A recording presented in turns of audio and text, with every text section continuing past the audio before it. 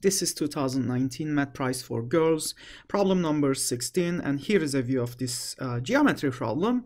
So we are given this heptagon, uh, 7 gon, uh, each sides of length 1. We would like to determine the length of this given edge over here in the middle. Uh, this problem actually is uh, is somewhat, somewhat uh, challenging. Uh, you can use a lot of trigonometric bashing to solve it. So it's it's not uh, it's not obvious. It's not trivial at all uh, how to approach the problem actually. And one reason for the difficulty is that each of these angles is um, 360 degrees divided by 7 so uh, which is uh, i mean obviously not easy to work with um, if you if you decided to bash it out. Um, however there was a solution by dj mathman on aops that i uh, particularly enjoyed and i would like to share that solution right now. And i'm just going to use his notation. Let's first label the vertices or of, of our heptagon a b c d e f g this point here is P and let's label this one as Q. So the question is asking for PQ. Um, well, uh, so the, the clever idea is the following. Uh, so we have this uh, rhombus here, ABPG, and we can just draw the diagonals of this rhombus. And let's label the point where the two diagonals, they meet at a 90 degree angle over here. Uh, let's label it as, say, um then the idea of DJ Mathman, which is super cool, is to calculate the distance EM in, in two different ways, basically. So if you draw EM, well, it turns out you can interpret EM uh, is the median. It's a special Cevian, right? EM, you can interpret it as a median, median uh, on on two different triangles. On triangle well, uh, AEP, AEP, but also and on triangle BEG, BEG. If you inspect in both of these triangles, EM is the median.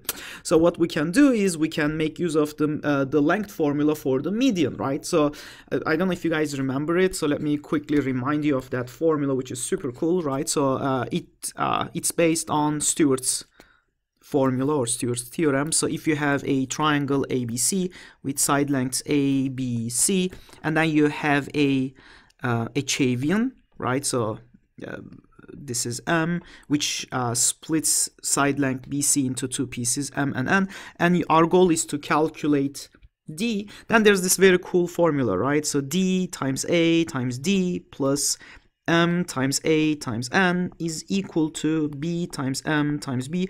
If you are from the uh, english speaking world so this formula is um, usefully written in this fashion because dad man equals bomb sink. So very convenient uh, way to write it. But in this particular case we want a special uh, case where d is happens to be a a median. If it's a median m and n are congruent. They are both equal to a over 2. So we can indeed uh, replace this thing, right, for that special case. So let me open some space here. Let me just remind you of that formula. So special case, special case, where d is median. All right, so in that particular special case, oops, median, then we have just replace here uh, m equals n which is equal to a over 2. If you substitute into the formula, so it becomes, well, a over 2 times a, sorry, uh, d times a times d, so this is still uh, d squared a plus uh, a over 2 a, a over 2, so that's just a o cubed over, over 4, if I'm not mistaken, equals bmb uh, b squared times a over 2, right? So b squared a over 2. And lastly, the last one is the same c squared times a over 2. Multiply both sides by 4, divide by a. You, we get 4d squared plus a squared is equal to, if I'm not mistaken, 2b squared plus 2c squared. And then further, finally, you can move things around. Uh, so this, I can write it as 2d squared is equal to 2 times b squared plus c squared minus a squared. So that's a very convenient formula. So median length formula. And that's the formula that I'm going to apply uh, in, in this problem. So let's go ahead and apply that formula twice. Like we said, uh, EM is a median on uh, AEP. So let's start with that.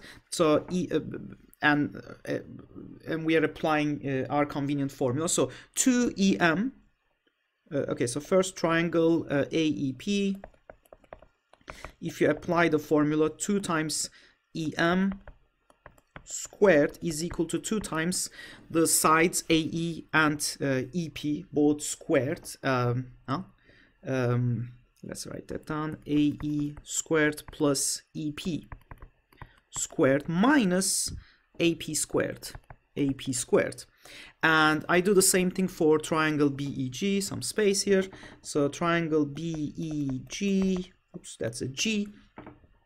Well, we get again 2EM squared equals um, 2 times uh, BE squared, BE squared plus GE squared minus minus BG squared but uh, well obviously the left hand sides are equal so it must be that the right hand sides of these two expressions must be equal as well. But before we go further one quick uh, trick which is super useful is the fact that um, if you inspect uh, EG it's clear that it spans one two edges as is as does bg right? Both of them they span one two edges right? So so as a result eg let's write that down here. Eg is equal to bg that's kind of very convenient because we have an eg term here. We have bg term super nice.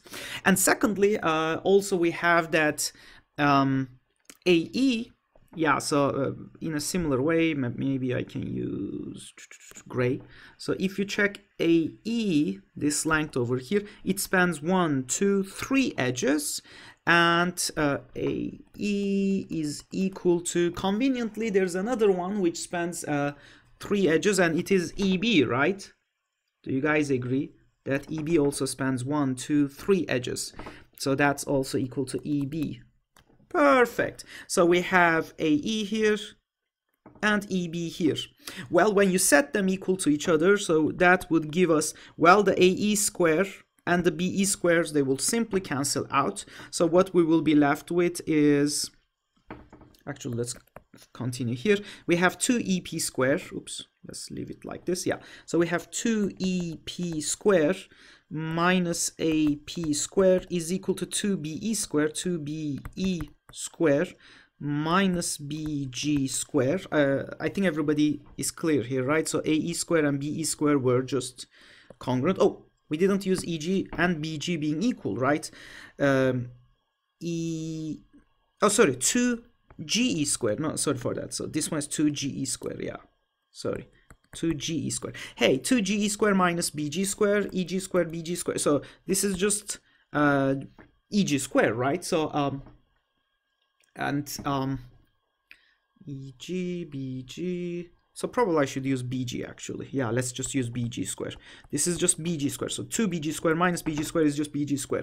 Right, yeah, okay, that's good. So therefore this would imply, so I don't need that, uh, this would imply 2EP squared is simply equal to, uh, moving this guy to the right hand side over here, we would get BG squared uh, plus AP squared.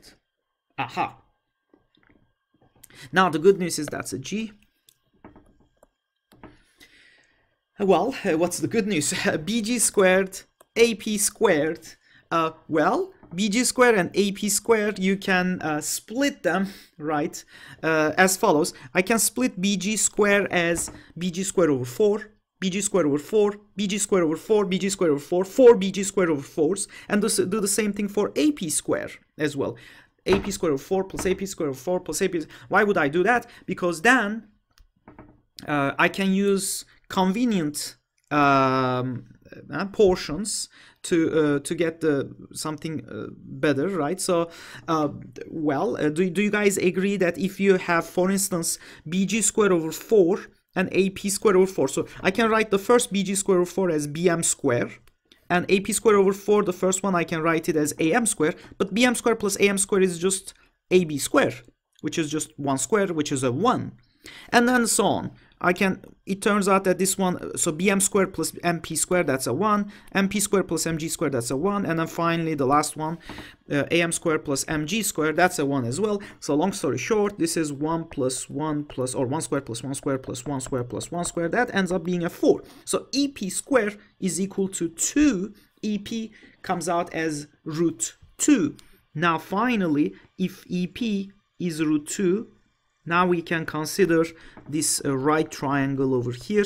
So QE is 1 half, EP, the hypotenuse is root 2, and D square, uh, so um, using Pythag, D square is equal to, uh, well, root 2, well, okay, let's do it in two steps, minus 1 half squared, 2 minus 1 over 4, that's just 7 over 4 and indeed uh, if you take the square root so d comes out as root 7 divided by 2 and that solves this really nice cute problem. Like I said so just be my guest and try to solve this problem using some trigonometric uh, identities or tricks. It's it's very challenging.